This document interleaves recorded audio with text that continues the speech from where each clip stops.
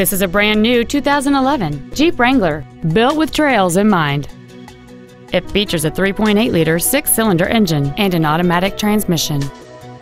Its top features include a full-length floor console, cruise control, heated side view mirrors, a leather-wrapped shift knob, aluminum wheels, a Sentry key theft deterrent system, fog lamps, a low tire pressure indicator, a keyless entry system, and folding rear seats.